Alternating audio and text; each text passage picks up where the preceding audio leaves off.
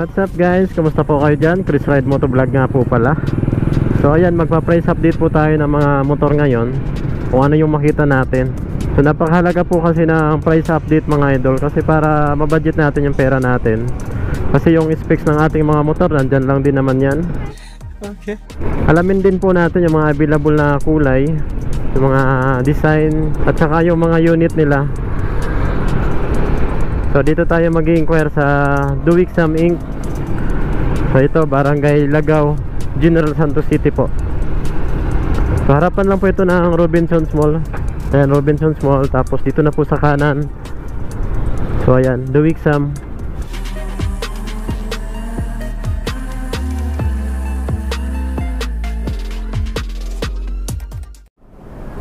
So yun guys, what's up? Nandito ngayon tayo sa Duwixam Inc. Barangay Lagaw, General Santos City. So ayan, meron po tayo nakita ang Mio Gear. So ito naman po yung version 2. Ito naman po yung version 3 nila.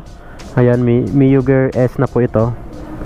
So ayan, so ang pinagkaiba po nila halos decals lang naman saka yung kulay talaga mga idol. So alamin natin ngayon yung spotcast nito tsaka installment update na rin. So, titinan din natin yung katapat niya na motor, si Honda Click 125 ng Honda. So, ito yung pinaka-sellable ngayon ni Yamaha sa 125cc na motor at yun naman yung kay Honda sa mga automatic na motor ng mga idol. So, ayan. Unahin natin dito sa Mio Gear. Tapos, susunod natin yung Honda Click mga idol. So, spotcast lang, saka installment update mga idol at least meron po kayong idea uh, kung kukuha na po kayo ng motor mababudget yun na yung pera nyo so ayan. Simulan natin dito sa Mio Gear na version 2 so halos parehas lang talaga mga idol. Walang pinagkaiba oh. Sa spotcast sa installment. So ayan. Ayan. Parehas lang po talaga sa presyo.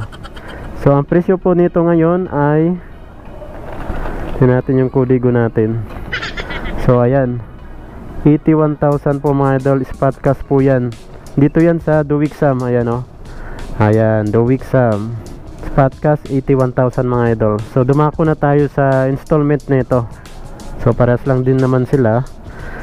Installment po nito sa down payment ay 6,000 lang po mga idol. Mapapasain nyo na po ito Mio Gear. Then sa 3 months naman po tayo, 25,867 kung 3 months yan kung iti 3 months nyo lang siya 25,867 sa 6 months naman po nito na hulugan 14,265 and then sa 1 year naman po nito so ayan 7,849 sa 1 and a half year 18 months ay nasa 5,710 sa 24 months 4,640 sa 30 months naman po nito mga idol ay 3,999 And then sa 3 years po nito na installment ay 3,571 rebates po ng 200 pesos. So ito po yung Mio Gear S. Ito yung Mio Gear. Halo sim lang po sila ng price. So ayan, kaya tingnan nyo dito. So visit na lang po kayo dito sa Duwixam. So ang mga previous naman po nito, meron po silang free helmet, jersey, TPL insurance, LTO registration, Tsaka kung ngayon po kayo bibili, mayroon po kayong free full tank gas, gasoline mga idol. So, kinaganda naman nitong yung Mio Gear mga idol, yung compact, aggressive yung design. Tsaka napakagandang man maneuver. Isa sa pinaka-sellable na motor ni Yamaha pagdating sa 125cc na matic na motor. Yung buong headlight na ito naka-LED na. And then yung signal light niya halogen bulb. And then naka disc brake naka disc brake po yan mga idol. So dito naman po sa Honda Click 125 ng Honda. Grabe napakaraming ano pa rin nito user. Napakarami pa rin bumibili mga idol. So alamin natin yung spotcast nito tsaka installment update na rin.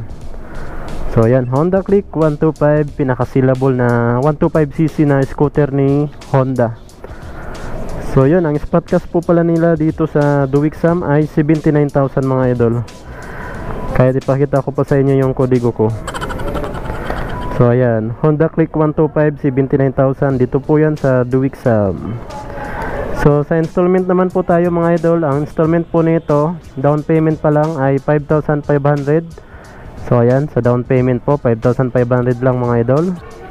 Sa 3 months naman po nito, nahulugan ay 25,367. Sa 6 months naman po 14,105. Sa 12 months 7,813. Sa 18 months naman po ay 5,716. Sa 2 years, 24 months ay 4,667. Sa 30 months ay 4,038 pesos. And then sa 3 years, 36 months ay 3,618. Rebates pa po yan ng 200 pesos. So, yan po. Mga freebies naman po nito, helmet, jersey, TPL insurance, 1 year LTO registration. So, ayan po yung mga idol. Honda Click 125. So, itong dalawa, same lang po ito. Kulay lang po yung pinagkaiba. Sa price, parehas na parehas mga idol. So, ayan. Honda Click 125, pinaka-sealable na matic na motor ni Honda. So, ang gustong gusto naman ng karamihan dito mga idol, itong LED day running lights niya. Napaka-aggressive mga idol. Tsaka itong headlight niya mga idol, LED na po ito. Mapa signal light. Wala ka na makikitang halogen bulb dito mga idol. So, lahat naka full LED na po yan lahat. So, yung design niya, malapad, malaki. Tapos, naka disc brake din mga idol. Single piston po yan. Pinaka nagustuhan nila dito yung handling yung comfort, yung tipid sa gas, and then yung mga ano na rin, special features nito. May lagayan dito ng mga bottled water, so tigkabilaan, tsaka may leg room, may malalagyan ng bag ng bata or bag ng mga anak nyo kapag magsusundo kayo. So malapad din yung upuan niya. So isa yan sa kagandahan nito. Malaki yung gulong Nasa 14 inches po yung laki ng gulong kaya gustong gusto nila to. Tsaka yung brake niya, disc brake at sa likod naman naka drum brake. And then yung power ng makina napaka-smooth tsaka maganda hindi masyadong maingay. Yun naman na talaga yung nagustuhan nila dito. Tsaka yung pormahan mga idol napaka-elegante. Meron sang LED dito. LED headlight, wala ka na makita ang halogen bulb. Nakakasalubong mo sa gabi ah, puting-puti talaga to eh, nakakasilaw talaga. So yun, napaka-futuristic ng datingan kasi mga idol. Sa side view niya, maganda. Napaka-aggressive din ang design. Yung decals niya, maganda rin. So yun, naka-liquid cooled po ang makina nito. 125cc liquid cooled single overhead cam and then naka 2 bulb po ito mga idol. So ang wala lang dito yung USB charging port. So ayan bala na kayo mamili kung anong motor yung kukunin yung mga idol.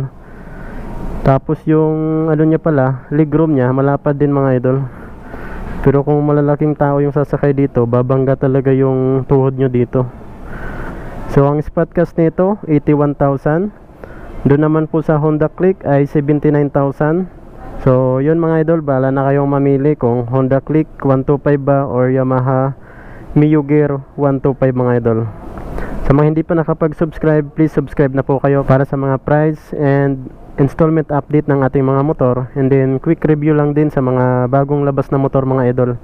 So, yun, ride safe po tayo palagi and God bless you all.